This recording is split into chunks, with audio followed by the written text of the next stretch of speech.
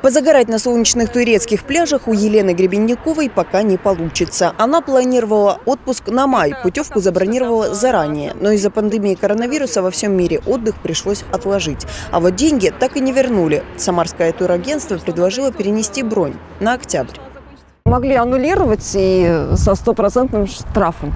Но туроператор пошел навстречу. Я считаю, что это здорово, что они молодцы что они нам перенесли путевку прям по той же стоимости, которая у нас была. Те, кто планировал путешествия в Китай, Италию, Корею, Иран, формально могут вернуть деньги, но на практике возникнут сложности. Туристическая отрасль переживает не лучшие времена. Многие компании уже сейчас на грани банкротства. Но все же стоит написать заявление в турфирму о возврате средств. К требованию надо приложить копии паспортов, договоров на тур и платежные документы. Сложнее придется тем, кто летел в другие страны. Они могут надеяться только на частичный возврат денег. Потому что фирма оплатит за счет туриста издержки, например, медицинскую страховку. Есть еще одно решение. Нужно объединить усилия туристам и туроператорам и обратиться в фонд персональной ответственности, который компенсирует затраты.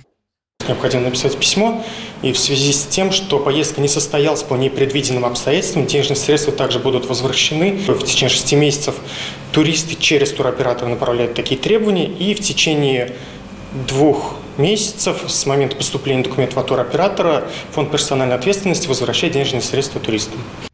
Рынок туризма сейчас мертв. Всю отрасль придется восстанавливать заново. Если границы в ближайшее время откроют, то начнут работать 70% турфирм. А если начнется вторая волна пандемии, тогда при лучших раскладах меньше половины. Сотрудники самарских туристических компаний не отчаиваются. Говорят, не раз приходилось переживать кризис. Мы уже были, ну, скажем так, разыгрывали а, мини-сценарий того, что сейчас происходит. Да, у нас были границы закрыты с Турцией целый сезон. А, у нас а, были, был закрыт Египет в свое время, тоже очень быстро. У нас были была девальвация рубля в 2014 году и резкое сокращение количества туристов. Да?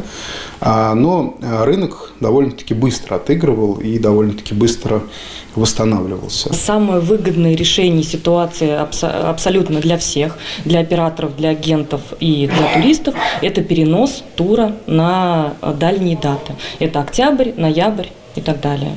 Потому что для операторов и для агентов это понятно, чем выгодно, а для туристов э, в первую очередь выгоден курс, потому что курс заметно э, повысился за это время.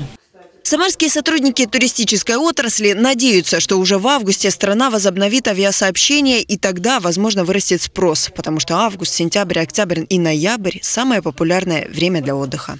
Туризм периодически переживает какие-то определенные кризисы. В этом году, к сожалению, он более масштабный. Но, тем не менее, в туризме работают очень оптимистичные, позитивные люди, которых, как бы судьба ни била, они всегда воскреснут.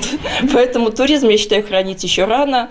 Даже если он сейчас просядет очень серьезно, мы обязательно восстановимся. Рано или поздно все будем путешествовать.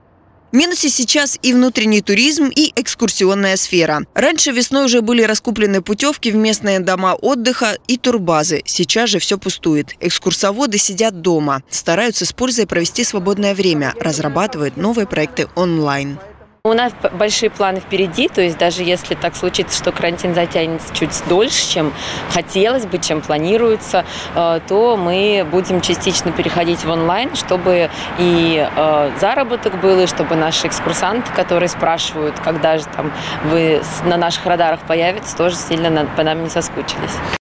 Эксперты говорят, что после долгой самоизоляции туристы заскучают по тем впечатлениям, которые можно получить только во время путешествий. Поэтому спрос будет рождать предложение. Елена Малютина, Николай Сидоров. События.